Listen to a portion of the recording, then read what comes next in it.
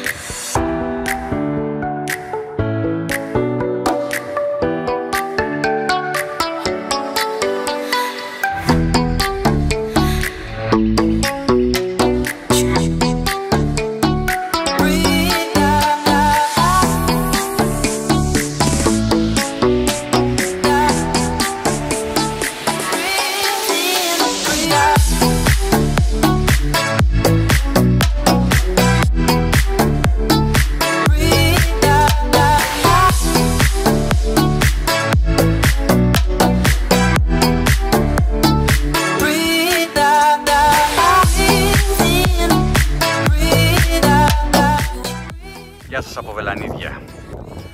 Βρίσκομαι σε ένα πολύ ωραίο σημείο, είμαι δίπλα στη θάλασσα. Δίπλα μου, αριστερά μου, θα το δείτε ευθύς, είναι το εκκλησάκι του Αγίου Παύλου και το λιμανάκι, ό,τι έχει απομείνει από το λιμανάκι βέβαια. Εδώ είμαστε μέσα στο φυσικό λιμάνι του Αγίου Παύλου Thank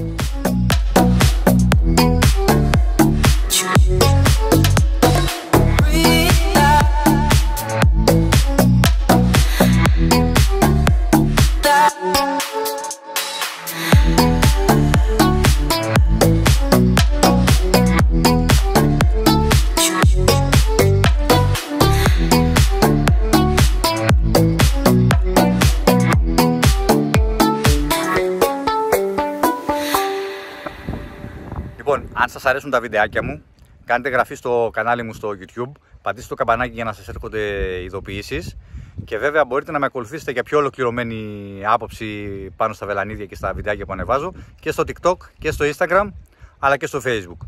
Στο Instagram βέβαια θα βρείτε και αρκετές φωτογραφίες, αρκετό φωτογραφικό υλικό που έχω και βέβαια μπορείτε να παρακολουθείτε και όλες τις δραστηριότητες που, που έχω μέσα από το, από το blog μου, το Βελανίδια Βαλάντης Blogspot.